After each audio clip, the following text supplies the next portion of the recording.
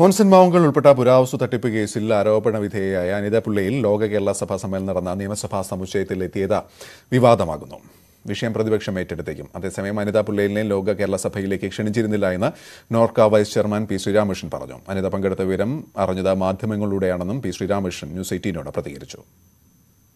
ലോക കേരളസഭ അംഗത്വത്തിലോ ക്ഷണിതാക്കളുടെ പട്ടികയിലോ അനിത അവർ സമ്മേളനത്തിൽ പങ്കെടുത്തിട്ടില്ല സമ്മേളന ഹാളിലേക്ക് പ്രവേശിക്കുന്ന സ്ഥലത്ത് സംഘടന തമ്മിൽ ലോഞ്ചിലേക്ക് പ്രവേശിക്കുന്ന സ്ഥലത്ത് ബാഡ്ജുകൾ പരിശോധിച്ചും ജനപ്രാതിനിധ്യം ഉറപ്പുവരുത്തിയും മാത്രമേ ആളുകളെ കടത്തിയിട്ടുള്ളൂ എന്നാൽ സമ്മേളനത്തിന്റെ ഭാഗമല്ല സമ്മേളന പങ്കാളിയല്ല. അതേസമയം വിമേശത്തിൽ നടന്ന ചില പൊതുപരിപാടികളിൽ പങ്കെടുത്തായിട്ട് അറിയുന്നു. എന്നിട്ട് മാധ്യമങ്ങളിലൂടെയാണ് ഞങ്ങൾ അറിഞ്ഞത്. Open forum open to all പേര് സൂചിപ്പിക്കുന്ന പോലെ ഓപ്പൺ ടു ആളായിരുന്നു ഓപ്പൺ ഫോറത്തിൽ പങ്കെടുക്കാം. എല്ലാവർക്കും വരാം. ആ കൂട്ടത്തിൽ വന്നതായിരിക്കണം എന്നാണ് കരുതുന്നത്.